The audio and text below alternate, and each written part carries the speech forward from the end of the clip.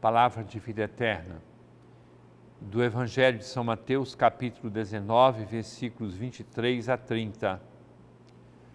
Naquele tempo, Jesus disse aos discípulos: Em verdade vos digo, dificilmente um rico entrará no reino dos céus. E digo ainda: é mais fácil um camelo entrar pelo buraco de uma agulha do que um rico entrar no reino de Deus. Ouvindo isso, os discípulos ficaram muito espantados e perguntaram: Então quem pode ser salvo? Jesus olhou para eles e disse: Para os homens isto é impossível, mas para Deus tudo é possível. Pedro tomou a palavra e disse a Jesus: Vê, nós deixamos tudo e te seguimos. O que haveremos de receber?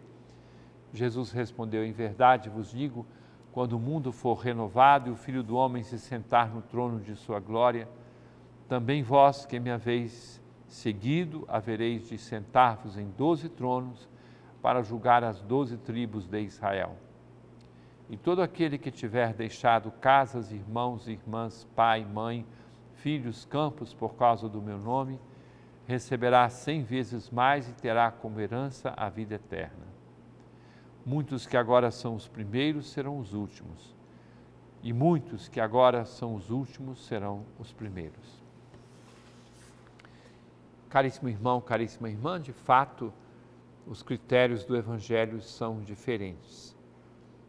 O objetivo que temos em nosso programa diário é propor com simplicidade e com força a vivência da palavra de Deus. Como viver esta palavra? Todos nós deveremos apresentar-nos diante de Deus uma vida toda e ao final, na nossa Páscoa pessoal, não levaremos nada a não ser o amor a Deus e ao próximo que tivermos vivido nessa terra. Quantas pessoas tive a graça de acompanhar e que experimentaram, mesmo tendo muitas coisas, muitas riquezas, mas pessoas que tiveram a graça do despojamento final da entrega nas mãos de Deus para se libertarem de todos os seus apegos.